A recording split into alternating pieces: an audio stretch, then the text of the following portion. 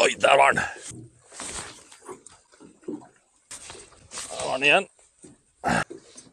Vi ser faktisk skjæragbolten.